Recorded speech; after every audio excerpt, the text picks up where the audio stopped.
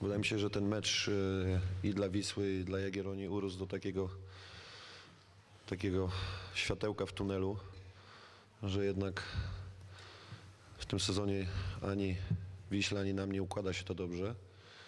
I no i jedna i druga drużyna bardzo by chciała w tym pucharze przejść do następnej rundy. No. Byliśmy przed tym meczem bardzo skoncentrowani, no ale okoliczności, w jakich wpadły obydwie bramki, to można tylko powiedzieć, że to jest brak szczęścia, tak, bo pierwsza sytuacja to jest nasz obrońca zagrywa na, na, do zawodnika Wisły na pozycję, na który, który jest, można powiedzieć, na pozycji spalonej, ale dlatego, że to podanie jest od naszego zawodnika spalonego nie ma, dogrywa do środka. Mi się wydaje, że Boguski do teraz chyba nie wie jeszcze jak to strzelił, jak ona mu się odbiła, że ona jeszcze weszła od słupka do środka. No, druga bramka, wybijamy z szesnastki. Yy, Nabija Tomek Bandrowski, yy, zawodnika Wisły, piłka wchodzi w szesnastkę, no i można powiedzieć znowu jest 2-0 i znowu gonimy wynik. Jak już wiemy o tym, że Rafał potrafi grać jako napastnik, bo pokazał to w tamtej rundzie i w sparingach tak samo, gdzie bardzo dobrze się prezentował. I to kwestia było, czy to zagra Rafał, czy Mały. Wie, wiedziałem, że na pewno dadzą z siebie 100% i tak to dzisiaj wyglądało. Plus dla niego wykorzystał to, co miał. To jest najważniejsze. Ale bolą niewykorzystane sytuacje. Mamy rzut karny, mamy słupek, wychodzimy z dobrą kontrą. W drugiej połowie mieliśmy naprawdę 25 minut y, gry niezłe.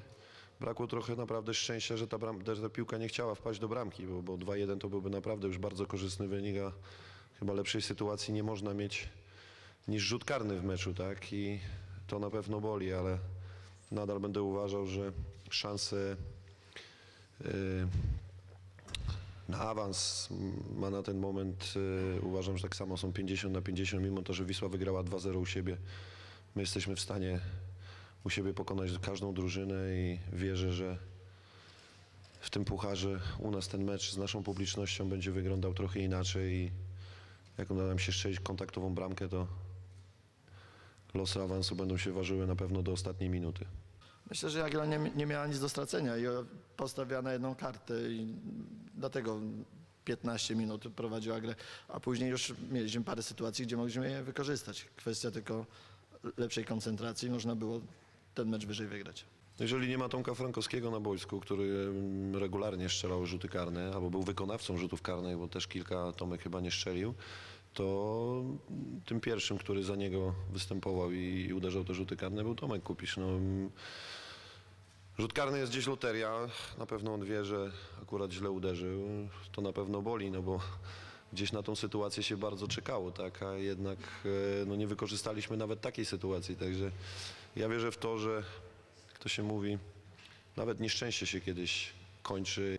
Myślę, że dużo większe niż jakby było 0-0 albo 1-1, albo jed, jedną bramką byśmy wygrali. Także mówię, to jest dwie bramki zaliczki, ale to też nie można na to tak patrzeć. Trzeba tak samo być skutecznym i skupionym w meczu z, w Białymstoku.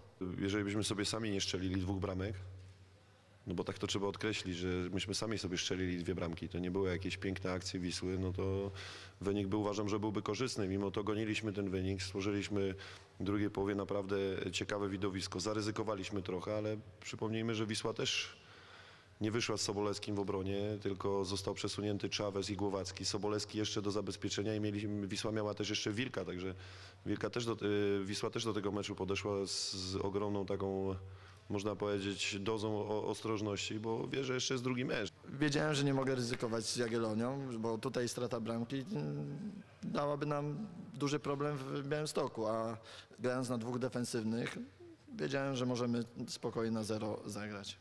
Plus to, że Siergiej miał dobry dzień. Miałem przyjemność akurat trzy razy w finale grać, także wiem, że to jest duża, duża przyjemność ten ostatni finałowy mecz y, zagrać, ale do tego meczu finałowego jest y, wiele wertepów, tak? I no tak jak powiedziałem, y, przegraliśmy dzisiejsze spotkanie 2-0. Na pewno z perspektywy meczu i okazji, jakie żeśmy sobie stworzyli, na pewno nie, uważam, że niesłusznie aż 2-0, bo na pewno należała nam się bramka w tym spotkaniu. Cwetan narzekał na plecy i dałem mu odpocząć. Ja bym na pewno nas tutaj w żadnym wypadku jeszcze nie skreślał, bo, bo na pewno jesteśmy w stanie sprawić niespodziankę. Łukasz jest przygotowany na mecz z Podbeskidziem. Będzie do dyspozycji.